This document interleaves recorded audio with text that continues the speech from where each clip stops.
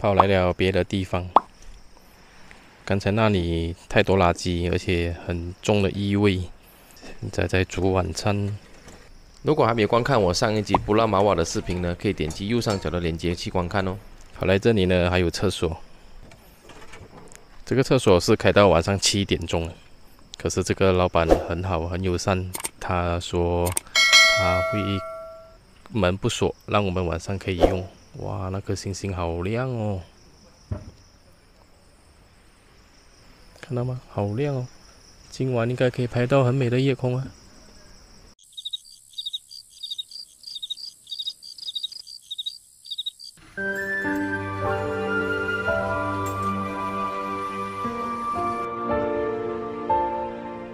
啊，真香！这厕所又新又美，冲凉两块，小孩子一块，上厕所五毛。整间模式，最重要的是开放式冲凉哦。哪里？可以这边华山论剑，神雕对决神雕。哎呦我的妈！第十九一间，厕所两间，全部都很新，很干净。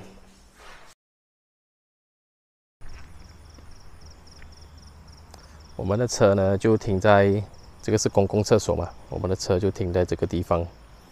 嗯，很暗啊，应该看不见。整场就只有我们，完全没有别人了。然后它的凉亭呢？现在因为很暗，没有灯光，其实它凉亭也是全部是做模式的哦。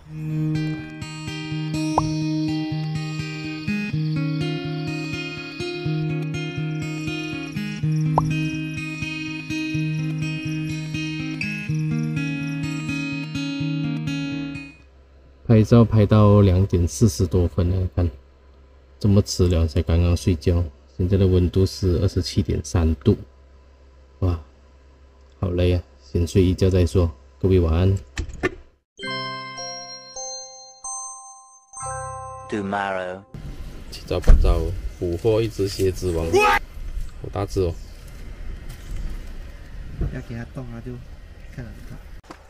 好彩没有爬到脚上去哦。哦，这么大一只哎，哇塞！你看它那个，这就是我经常要建议车路的时候要关闭所有的门窗的原因啊。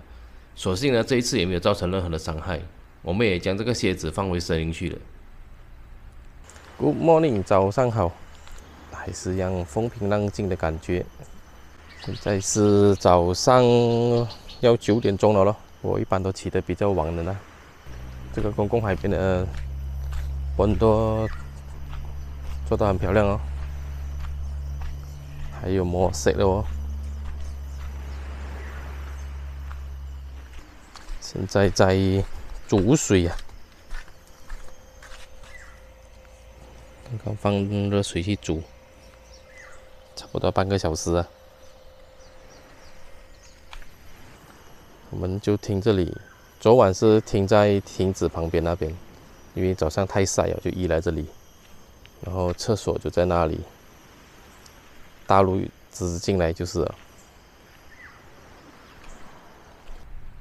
想到德罗戈雷公共海边露营的朋友们呢，可以在地图上搜索“班代德罗格雷”，或者在留言区留言，我会回复你 GPS 的坐标。这个画面呢是未翻新前的厕所，所以呢希望各位文明的使用，别再破坏新的厕所了。依然是被缺德的人呢丢了蛮多的塑料啊以及垃圾在沙滩上面，而且这个地方呢没有设置垃圾桶。